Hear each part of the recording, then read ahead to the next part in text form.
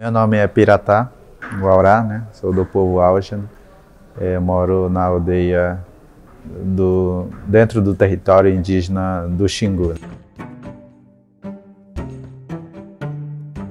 Nesse momento, né, na exposição do Contato Xingu, e eu estou fazendo nessa parte aí, mostrando uh, o meu trabalho, né, e porque hoje, atualmente, o meu povo está em luta, é, em busca de, de, de melhoria para o nosso território, porque cada vez mais a, o desmatamento, o agronegócio estão avançando nos nossos territórios e, e a parte do, do território do nosso história sagrada ficou fora do nosso território aí.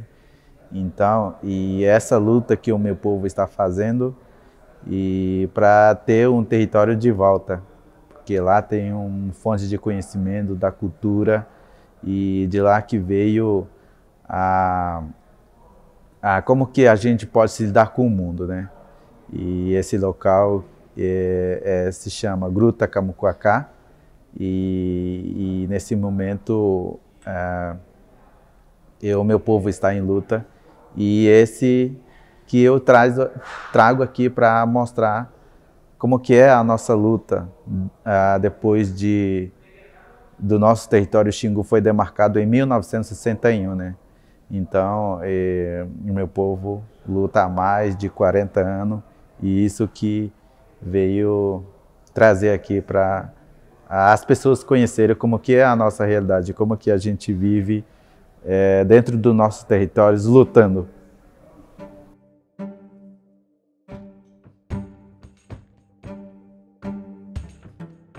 Gente é, estuda bastante, né? É, porque hoje, atualmente, é, é, os jovens indígenas que estão entrando na faculdade, estudando, né?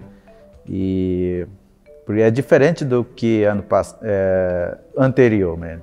Porque anteriores eles lutam por por usando a sua arma, arco e flecha, é, falando verbalmente, né? E hoje estamos lutando de uma duas formas aí, né? Através da caneta e a câmera e a câmera digital, né? As máquinas aí, né? Então, e, através do, do audiovisual e do trabalho dentro do, do nosso território, os indígenas se formando e mostrando como que é o nosso cotidiano dentro dos nossos territórios, porque é, é, muitas pessoas é, ouvindo as nossas histórias, é, as nossas lutas e não ver e essas máquinas que pode ter na mão do indígenas pode estar trazendo, transmitindo uh, esses cotidianos, esse conhecimento para o mundo do homem branco, né? Que muitas pessoas que não conhecem, que nunca foi para lá e as máquinas estão aqui para mostrar como que é a nossa vida dentro do nosso território, transmitindo o nosso território para o mundo do homem branco.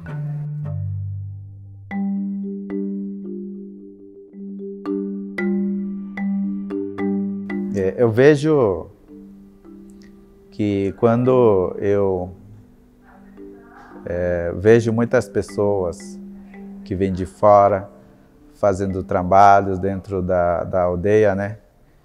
E mostrando o seu olhar.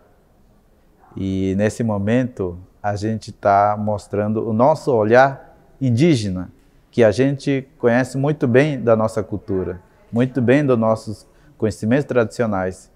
E, e, e isso é muito importante.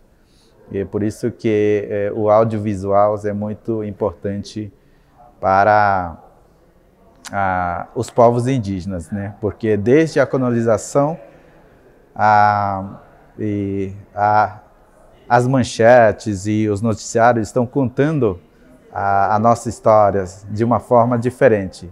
E estamos aqui para combater o fake news, combatendo a, as mentiras que já foi contado por nós aí. Então, é por isso que é muito importante a gente, comunicadores indígenas, estar fazendo essa exposição aqui no Instituto Moreira Salles.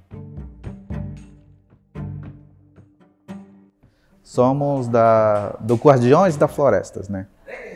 Então, e essa exposição que pode estar acontecendo aqui, e as galeras e as pessoas podem vir, para eles se sentirem mais perto das florestas, mais se sentirem mais perto dos rios, das, das águas, das aves, das florestas, dos meios ambientes aí, né? Porque somos a, da floresta, somos dos rios e somos arte também, né? Porque é, a gente nasce com muito conhecimento das florestas aí.